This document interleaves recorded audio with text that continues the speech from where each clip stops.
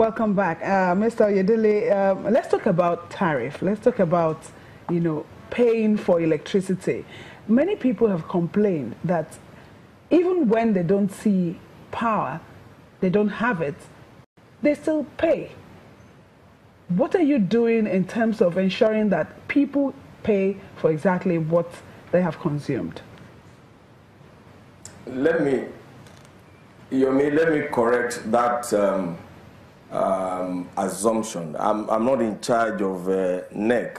I'm not in charge of uh, the regulatory agencies. And you heard the Honorable Minister speak about, um, about metering and the efforts that government is doing to ensure that we have more prepaid meters available to customers. Of course, this, the issue of consumers not being uh, properly metered is reprehensible to this government. And um, I don't want to talk uh, on behalf of the regulatory agencies.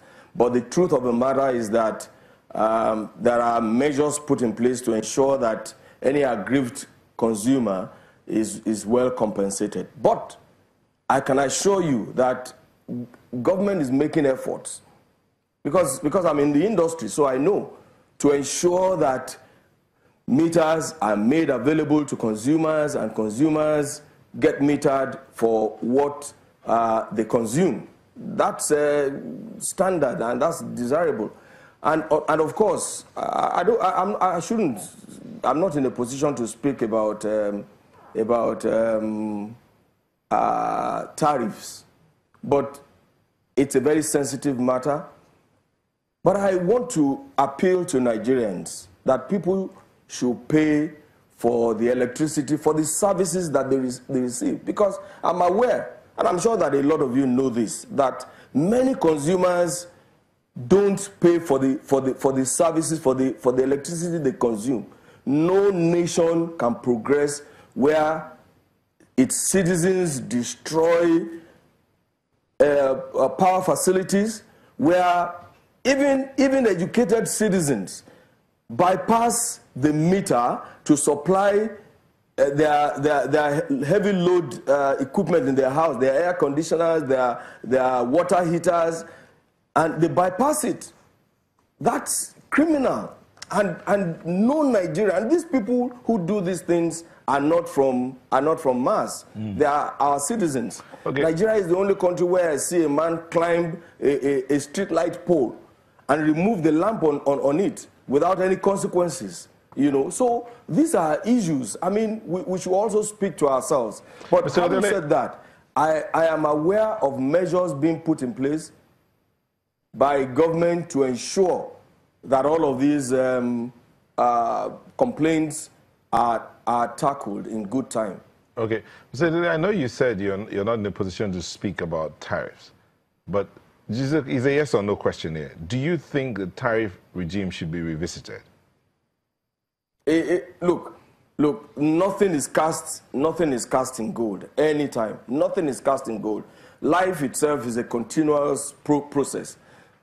Even, even school fees in, in private schools, in public schools, uh, even, even your, your, your free uh, mobile telephony. Sometimes the, the, the charges are increased, sometimes they are lowered. Fuel price is lowered, is increased sometimes. So I, I, don't want to, I, I don't want, I, I'm sure that government is very sensitive to the people. And that's why you have seen that the tariff, the present tariff is, is steady for some time now. Um, because government is aware that uh, it is the people who who, who bear the brunt. Okay, so there, there, are a lot of. Um, I'm sure that that will be take the, the, this. Okay, there are a lot of comments coming in here, but I'll take you back. Um, I'm not going to read those comments yet. Let's just go back a bit to one of the first questions we asked about the question of funding. Now, there was a conversation going on somewhere, and some people talked about the federal government having, or government having a 40% stake in the discos. And then the suggestion was made that those that 40% needs to be let go of so that the discos can run by themselves. Do you think that would in any way change the situation of things right now? not, not, not, not at the moment. Not at the moment. Um, the truth of the matter is that uh, the question to ask is, is government getting the 40%? Is government getting money from the 40% that it holds in the discos at the moment? The complaint is that we are not, I mean, that's why GENCOs are not being paid. The complaint is that the, it's either that the discos are not, are, are, not collecting enough money or that they are not being accountable. Well, I don't want to talk about that. You know, the, the issue is not whether government owns 40%. Those who crafted the law, don't forget that this, this, this um, reform was undertaken by the immediate past government. So it's, um, it's not, it's not government will review it at the appropriate time.